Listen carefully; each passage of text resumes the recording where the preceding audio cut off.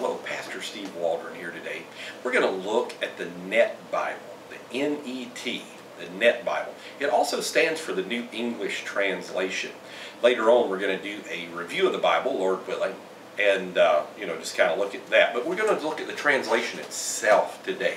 Now, the Net Bible, the foundation of it was from 1995. A group of scholars was there at the Society for Biblical uh, literature and just began discussing it. And today it's considered to be the Bible Research Foundation considers itself kind of the gatekeepers of it.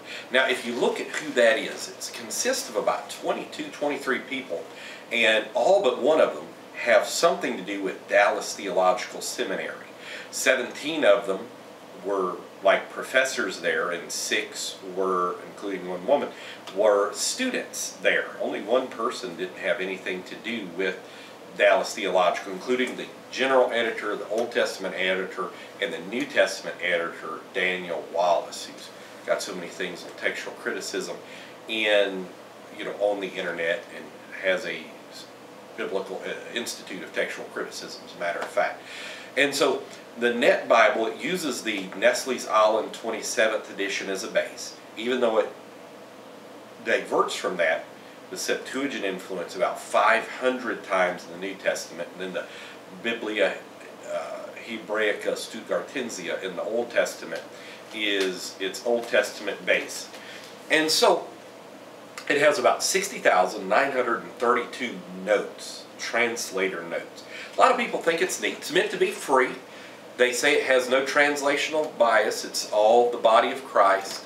And uh, somebody has rightly pointed out that was what the Jesus Seminar said as well. Now, its translation philosophy seems to be uh, somewhat looser, a looser form of dynamic equivalency. And that's fascinating. And a few other points about the Net Bible that are, are interesting you need to know before you use this authoritatively as, as some kind of incredible Bible.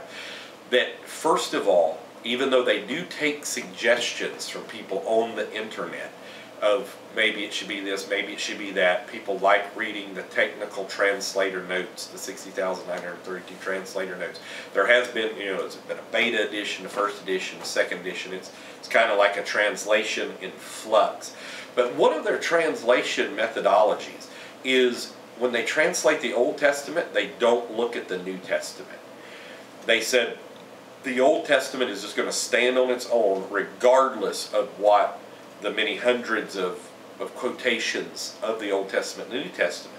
We're going to look at it on its own. So, like in Isaiah 7.14, it's going to use uh, the young woman. It's going to take out that prophecy that Matthew said that it was a virgin. They're going to say, no, we're going to translate that a young woman. There are several other places like Psalm 8, just many, many, too numerous to, to uh, go, but that has some issues in it. Many places in Isaiah, besides Isaiah 7.14 and that type of thing. So that's a fascinating translation philosophy in and of itself.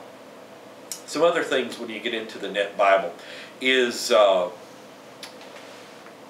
they're not always concerned with accuracy.